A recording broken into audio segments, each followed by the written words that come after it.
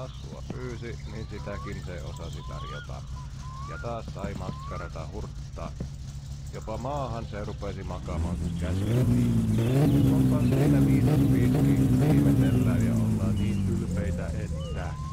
Mutta annapa sille koiralle eteen paperillinen algebran hyperpelifunktiota ja sano sille, että siemennä, niin syön vaikka vetoa, että ei osaa siementää se.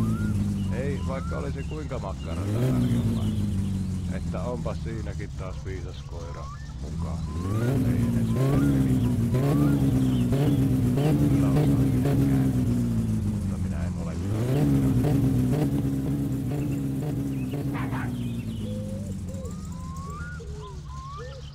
Varo syöminen. Nälkä on ikuinen. Välillä sitä ei tunne, mutta aina se on silti mukana, sillä jostain se aika ajoin pulpahtaa pinnalle, vaikka sitä luuli edellisellä kerralla pääsen eroon lopullisesti. Vaan ei pääse.